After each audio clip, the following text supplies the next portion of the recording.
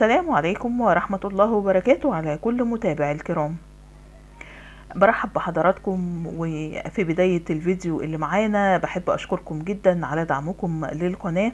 والنهاردة الفيديو اللي معانا هنتكلم فيه عن فنانين اتوفوا أثناء التصوير وكمان على خشبة المسرح وهنعرف حاجات كتيرة جدا معانا عن الفنانين دول. بس قبل ما نبدأ نرجو دعمنا بلايك للفيديو واشتراك في القناة. ونفعل الجرس على الكل ليصلكم كل جديد وحصري من القناة. فنانين رحلوا وماتوا في أماكن لم يتوقعوا أن يتوفوا في الأماكن دي. وفي فنانين كتير جدا من حبهم للفن بيواصلوا العمل حتى أثناء أوقات مرضهم وتعبهم. وفنانين وفاتهم المنية أثناء أداء أدوارهم في التلفزيون أو على خشبة المسرح كمان. ومنهم من مثل مشهد وفاته قبل وفاته الحقيقية بدقايق وكمان منهم من توفى أثناء أداء مشهد وفاته في العمل. فقد مات الكثير من الفنانين أثناء عملهم وهذه القصص لأكثر من فنان جميعهم ماتوا في محراب الفن. ونبدأ أول فنان وهو الفنان الكبير الراحل محمود المليكي. رحل أثناء تصوير أحد المشاهد والصدفة تجعله يجسد مشهد الموت لشخصية اللي يؤديها فيموت في التصوير. فقد كشف المخرج هاني لاشين كواليس مشهد موت الفنان الراحل محمود المليجي في فيلم أيوب وقال إن الفنان محمود المليجي كان بيستعد للمكياج وطلب كوباية قهوة وفجأة وبدون مقدمات بدأ بيتحدث وبيتكلم مع الفنان عمر الشريف وبيقول إن الحياة دي غريبة جدا الواحد بينام ويصحى وينام وفجأة بيستغرق في النوم وهو بيتكلم مع عمر الشريف. وبدأ المحيطين بيضحكوا على دقة المليجي في التمثيل بعد أن استغرق في النوم على الكرسي. وبعدها اتضح لهم إن دي نهاية حياته ومش المشهد اللي بيمثله وكان دي نهاية المشهد للشرير السينما المصرية الذي فارق الحياة وهو بيمثل مشهد الموت. أما الفنان اللي بعد كده فهو الفنان القدير صلاح ذو الفقار. ووفاته المنية أثناء تصوير مشهد قبل الأخير من فيلم الإرهابي مع الفنان عادل إمام في عام 1993 في تحديدا 22 ديسمبر. أثر أزمة قلبية مفاجأة وعن عمر يناهز 67 عام. وكده ظهر جميع أفراد الأسرة في المشهد الختامي للفيلم ولم يظهر الفنان صلاح ذو الفقار. أما الممثل اللي بعد كده فهو الفنان الراحل إبراهيم عبد الرازق وده كان مات على المسرح. وتوفى الفنان الراحل إبراهيم عبد الرازق تحديدا في يوم 29 يناير 1978 وتوفى على خشبة المسرح وهو بيأدي دور دوره الأخير في مسرحية كعبلون أمام الممثل القدير الراحل سعيد صالح. وكانت صدمة لكل الحاضرين وللفنانين بوجه عام. وخاصة لأنه كان في الفترة دي يعتبر أكثر ممثل احتراما ومقاما. أما الممثل اللي بعد كده فكان الفنان غريب محمود. والنهاية نفسها كتبها الفنان غريب محمود عام 2006 اللي توفى خلال بروفات مسرحية حمام مغربي. فقد سقط مرتين في في المرة الأولى نفض عنه الموت للحظات وكمل تدريباته ولكن الموت أبى أن يرحل فأسقطه في المرة الثانية جثة هامدة.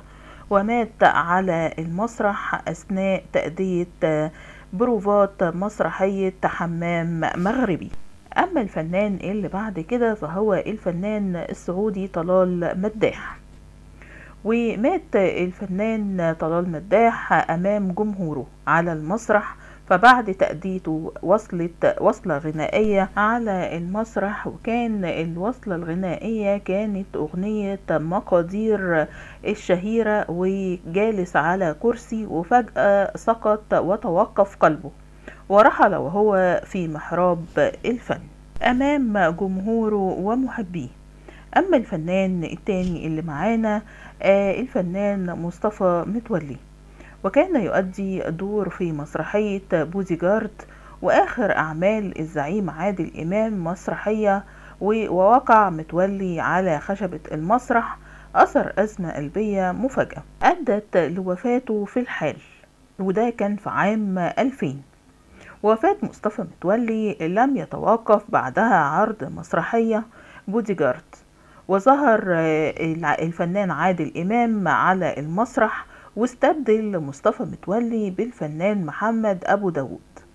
وفي أول مشهد لمحمد أبو داود على المسرح كان أمام الفنانة رغدة وانهارت من البكاء وسقطت على المسرح.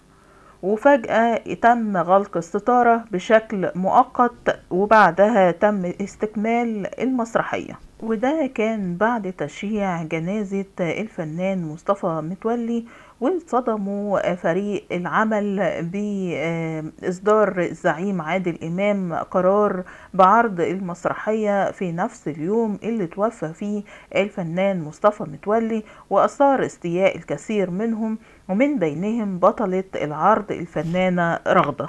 ورغم ذلك قال العاملين بالمسرحية إن عادل إمام انهار في الكواليس بمجرد انتهاء العرض في نفس اليوم اللي توفى فيه الفنان مصطفى متولي. ودخل بعدها في اكتئاب. أما بالنسبة للفنان اللي معانا هو الفنان الضيف أحمد اللي مثل مشهد وفاته على خشبة المسرح قبل وفاته مباشرة.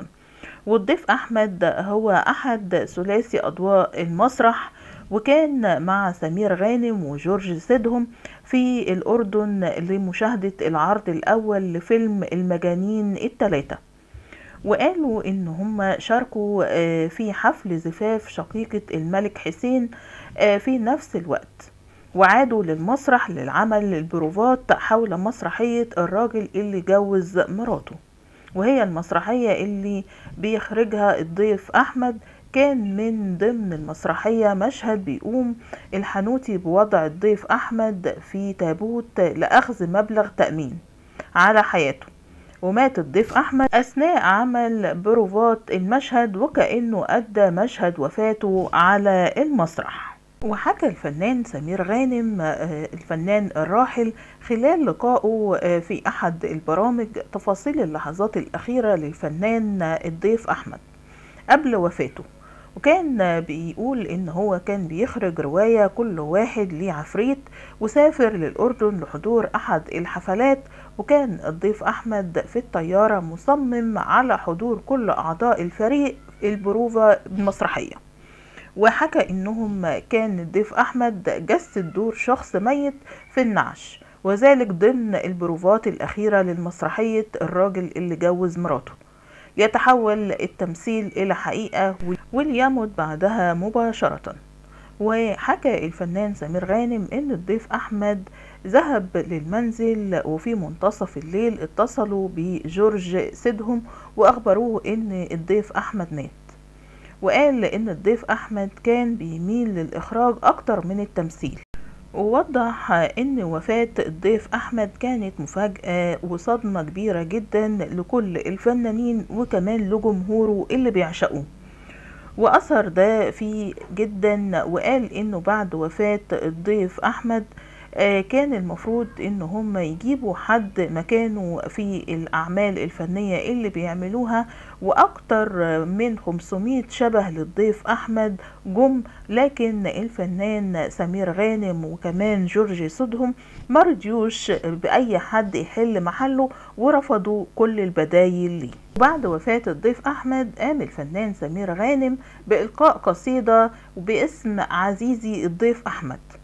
والقصيدة دي كانت رائعة. وكتبها من كلمات الشاعر الراحل عصام عبد الله واللحن العبقري محمد هلال والفنان سمير غانم كان بيحب جدا القصيدة دي. وقال الفنان سمير غانم إن وفاة الفنان الضيف أحمد أثم ظهره. وزي ما شفنا مع حضراتكم سبع فنانين ماتوا في أثناء التصوير وكمان على خشبة المسرح.